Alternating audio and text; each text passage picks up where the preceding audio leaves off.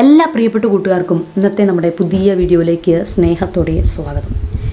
ഇന്ന് ഞാൻ നിങ്ങളെ കൊണ്ടുപോകാൻ പോകുന്നത് യേശു ഗച്ചമേൻ തോട്ടത്തിൽ ദുഃഖിതനായി കരഞ്ഞതിന് ശേഷം യൂദാസിന്റെ സ്നേഹചുംബനത്തോടുകൂടി യേശുവിനെ കയ്യപ്പാസിന്റെ അരമനയിലേക്കാണ് പിടിച്ചു കൊണ്ടുപോകുന്നത്. കയ്യപ്പാസിന്റെ അരമനയും അതിനോടൊപ്പം യേശുവിന്റെ ഏറ്റവും പ്രിയപ്പെട്ട ശിഷ്യനായ പത്രോസ് യേശുവിനെ തള്ളിപ്പറഞ്ഞ സ്ഥലവുമാണ് ഇന്നത്തെ വീഡിയോയിലൂടെ നമ്മൾ പോയി കാണാൻ പോകുന്നത്. വീഡിയോയിലേക്ക് എല്ലാ പ്രിയപ്പെട്ട കൂട്ടുകാർക്കും സ്വാഗതം. അതിനോടൊപ്പം ഈ വീഡിയോ കുറച്ച് ഈ സമയമല്ല കുറച്ച് നാളുകൾക്ക് മുമ്പ് എടുത്ത് വെച്ച വീഡിയോയാണ്. അപ്പം വീഡിയോയിലേക്ക് പോകാം. വാ. അങ്ങനെ നമ്മൾ ജെറുസലേമിലുള്ള സെന്റ് പീറ്റേഴ്സ് ഇൻ ഗലിക്കാറ്റു എന്ന് പറയുന്ന ദേവാലയത്തിൽ എത്തിയിരിക്കുകയാണ്. അങ്ങനെ നമ്മൾ ദേവാലയത്തിന്റെ ഏറ്റവും മുകൾ ഭാഗത്ത് നിന്ന് കാണുമ്പോൾ താഴേക്ക് നോക്കുമ്പോൾ ദൃശ്യമാണ് ഈ കാണുന്നത്. അവിടുന്ന് ഗെറ്റ്സമീൻ തോട്ടം കാണാൻ സാധിക്കും നമുക്ക്. അവിടെ നിന്നുമാണ് യേശുവിനെ പിടിച്ചുകൊണ്ട് വന്ന് കയ്യപ്പാസിന്റെ അരമനയിലേക്ക് കൊണ്ടുവരുന്നത്. അതുപോലെ തന്നെ സെന്റ് പീറ്റേഴ്സ് ഗെലിക്കാറ്റു എന്ന് പേര് വന്നിരിക്കുന്നത് ഇതൊരു ലാറ്റിൻ വേർഡാണ്.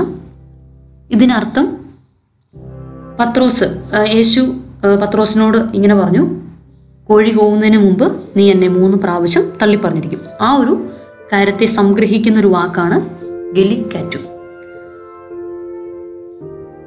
ഇതിപ്പം നമ്മൾ കയ്യപ്പാസിന്റെ അരമനയാണിത്. നമ്മൾ ഈ നല്ല തിരക്കുള്ള സമയമായിരുന്നു ഞാനൊന്ന് പോയപ്പോൾ. ഇനി നമ്മൾ പതുക്കെ താഴേക്ക് പോകും ഇനി അതുപോലെ തന്നെ ഈ ദേവാലയത്തിന്റെ ചിത്രങ്ങൾ അതെങ്കിൽ അവിടെ കൊത്തിവെച്ചിരിക്കുന്നതും അല്ലെങ്കിൽ അവിടെ ചെയ്തിരിക്കുന്ന ഓരോ കാര്യങ്ങളും കുറേ നല്ല നല്ല അർത്ഥങ്ങളുള്ള ചിത്രങ്ങളാണ്. അതുപോലെ ഈ ദേവാലയത്തിന്റെ അകത്തേക്ക് പോകുമ്പം നല്ല വലിയ ഗർത്തം ഒരു വലിയ ഒരു കുഴി പോലെ നമുക്ക് കാണാൻ സാധിക്കും. അതൊക്കെ പണ്ട് കാരാഗ്രഹത്തിൽ ഇടുന്ന അല്ലെങ്കിൽ കുറ്റക്കാരെ ഇടാൻ വേണ്ടി ഉപയോഗിച്ചിരുന്ന ഗർത്തങ്ങളായിരുന്നു കാരാഗ്രഹത്തിലേക്ക് അതിനകത്ത് അതിലൂടെ തള്ളി താഴേക്ക് ഇട ഇട്ടിരുന്നു. അങ്ങനെ യേശുവിനെയും ഇട്ടിരുന്നു എന്നാണ് നമ്മൾ നമ്മൾ പഠിക്ക അങ്ങനെ അങ്ങനെയാണ്. അതായത് ഇവിടെ വിചാരണയ്ക്ക് ശേഷം അവരെ തടങ്കിൽ പാർപ്പിക്കും പാർപ്പിക്കുന്നതിന് വേണ്ടി അതിലൂടെയാണ് താഴേക്ക് ഇട്ടിരുന്നത്. അപ്പം ദേവാലയത്തിന്റെ പുറത്തു നിന്നുള്ള കാഴ്ചകളാണ് ഇപ്പോൾ നമ്മൾ കാണുന്നത്. ഇനി ഈ ദേവാലയ മുറ്റത്ത് വെച്ചാണ് പത്രോസ് യേശുവിനെ തള്ളിപ്പറയുന്നത്. ഇതുകൊണ്ട് ആൾക്കാരവിടെ കൂടി നിൽക്കുന്ന കേട്ടോ ഇതാ അവിടെ വെച്ചാണ് പത്രോസ് യേശുവിനെ തള്ളിപ്പറയുന്നത്.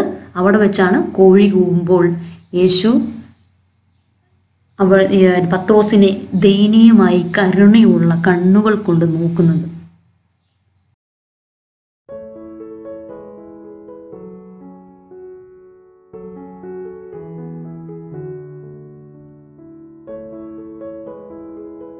ഏറ്റവും സ്നേഹിതനായ ഒരു മനുഷ്യനാണ് പത്രോസ്. അതായത് യേശുവിന് ഏറ്റവും പ്രിയപ്പെട്ട ശിഷ്യൻ.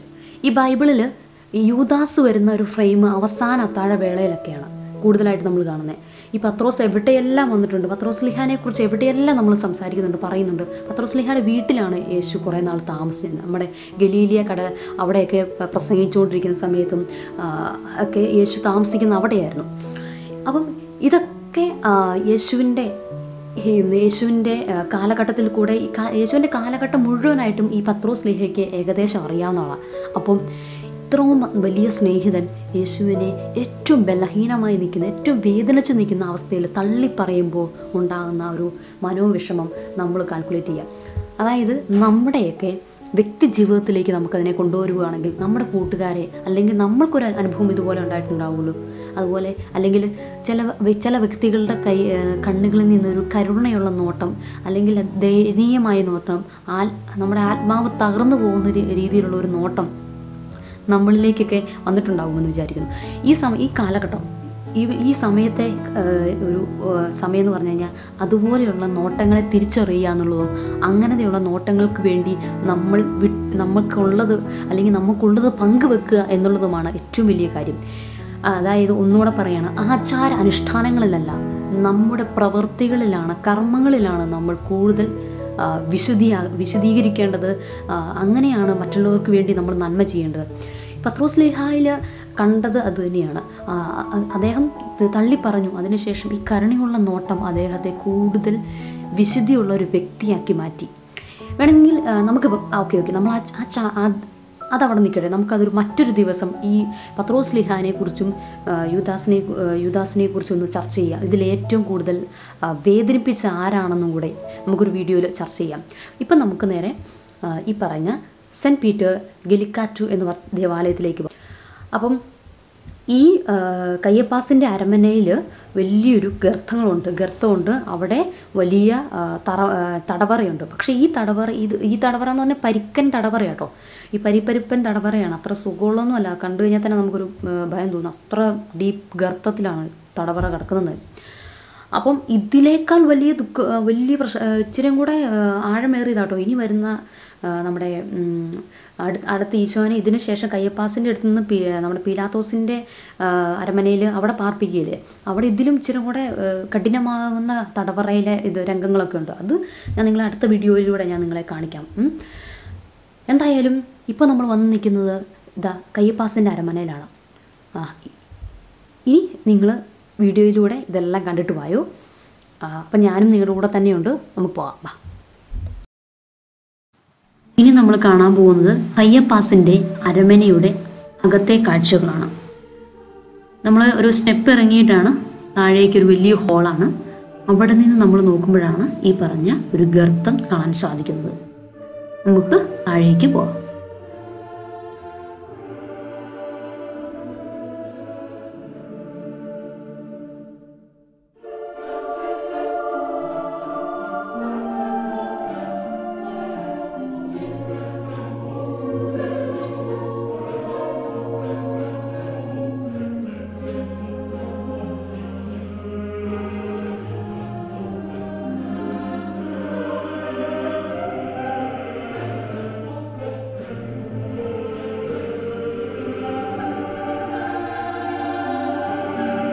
ഇവിടെ വച്ചാണ് വിചാരണയ്ക്ക് ശേഷം തടവുകാരെ താഴേക്ക് തള്ളി ഇടുന്നത്. അതിനുശേഷം അതിൽ അതിന്റെ ഏറ്റവും താഴത്തെ തട്ടിലാണ് ഈ പറഞ്ഞ തടവറയുള്ളത്. ഇതൊരു വലിയൊരു ഹോളാണ്. ഇതുണ്ടോ ഈശോനെ വിചാരണ ചെയ്യുന്ന ആ ഒരു വേള നമുക്ക് കാണാം. ദയനീയമായ ആ അവസ്ഥ നമ്മുടെ മനസ്സിലേക്ക് വരുന്നുണ്ട്. ഇനി നമ്മൾ കുറച്ചും കൂടെ താഴേക്ക് ഇറങ്ങി ചെന്ന് അതായത് ഞാൻ ആ സ്റ്റെപ്പ് ഇറങ്ങി ഒച്ചിനോട് സ്റ്റെപ്പ് ഇറങ്ങി പോയാലാണ് ഈ പറഞ്ഞ സ്ഥലത്തേക്ക് എത്തുന്നത്. ഇത് ഈ കാണുന്നതാണ് ഓരോരോ തടവറയാണ്. ഇതിപ്പം അവർ അത് വളരെ നല്ല രീതിയിൽ സംരക്ഷിക്കുന്നതാണ്. അതുകൊണ്ട് ചില്ലുകളൊക്കെ ഇട്ട് സംരക്ഷിക്കുകയാണ്. ഇങ്ങനെയാണ് അതുകൊണ്ട് ഗുഹയാണ് അതിനകത്ത്. അതിനകത്ത് ഓരോരോ അറകളാണ്. അപ്പം ഇത് ഈ കുഴിയിൽ നിന്ന് നേരെ ചാടുന്നത് നമ്മൾ ഇങ്ങോട്ടാണ്. ഇതുണ്ട്. ഓരോരോ അറകളും. അറകൾ വലിയ വലിപ്പമൊന്നുമില്ല. നമ്മൾ കുനിഞ്ഞു നിൽക്കുന്ന അല്ലെങ്കിൽ ആ ഒരു അവസ്ഥയാണ് ചില അറകളൊക്കെ. നമുക്ക് ഇതിന്റെ അകത്തേക്ക് നോക്കിക്കഴിയുമ്പോൾ ഞാൻ നിങ്ങളെ കാണിച്ചു തരാം. ആ ഒരു ഉണ്ടോ ഇതാണ് എന്റെ ഏറ്റവും അവസാനത്തെ ഒരു ഏരിയ ആയിട്ട് നമുക്ക് കാണാൻ സാധിക്കും. ഏറ്റവും താഴെ അത്രമാത്രം താഴേക്കാണ്. അതുകൊണ്ട് അവിടെ ഒരു ദ്വാരമുണ്ട്. നിങ്ങൾക്ക് കാണാൻ സാധിക്കും. ഇതുണ്ടോ? ഇതുണ്ടോ? സൈഡിൽ കണ്ടോ? ഈ ദ്വാരം. അപ്പോൾ ആ ഇതിനകത്തുകൂടിയാണ് പിന്നെ തടവുകാരെ താഴേക്ക് ഇട്ടിരുന്നത്.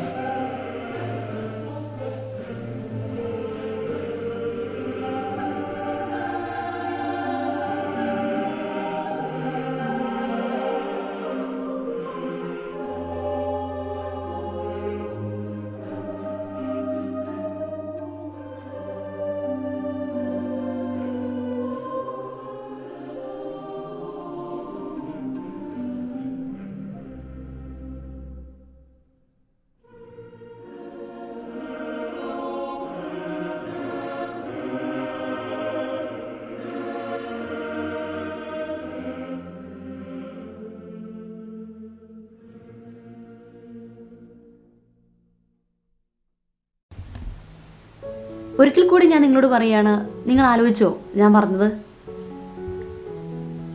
പത്രോസ്ലിഹയാണോ യൂദാസാണോ ഏറ്റവും കൂടുതൽ യേശുവുമായിട്ട് അല്ലെങ്കിൽ യേശുവിനെ വേദനിപ്പിച്ച മനുഷ്യർ മനുഷ്യൻ. ചിലപ്പോൾ വേദനിപ്പിച്ചിട്ടേ ഇല്ലായിരിക്കാം.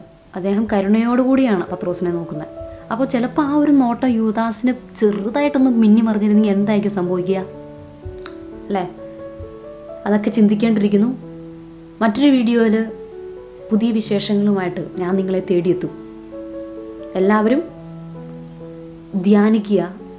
അതായത് ധ്യാനിക്കുക എന്ന് പറയുന്നത് നമ്മൾ വലിയ മനുഷ്യൻ വലിയ വ്യക്തികളാകണമെന്നൊന്നുമില്ല. നമ്മൾ ഈ ഒരു ഈ ഒരു ഭാഗം ഈ ഒരു കാര്യങ്ങൾ നമ്മുടെ ബ്രെയിനിലിട്ടൊന്ന് ആലോചിച്ച് ആലോചിച്ച് നോക്കുക. അപ്പോൾ നമുക്ക് കിട്ടും. ചില സ്ഥലത്തൊക്കെ നമ്മളൊക്കെ പത്രോസ് ആയിട്ടുണ്ടോ യൂദാസ് ആയിട്ടുണ്ടോ ചില സ്ഥലത്ത് നമ്മളൊരു ക്രിസ്തുവിനെ പോലെ ഒരു അന്നസ്രായനെ പോലെ ആയിട്ടുണ്ട്. നിങ്ങളിൽ ചിലപ്പം അങ്ങനെ ഒരു അനുഭവമുണ്ട്. എന്നിൽ അങ്ങനെ ഒരു അനുഭവങ്ങളൊക്കെ ഉണ്ട്.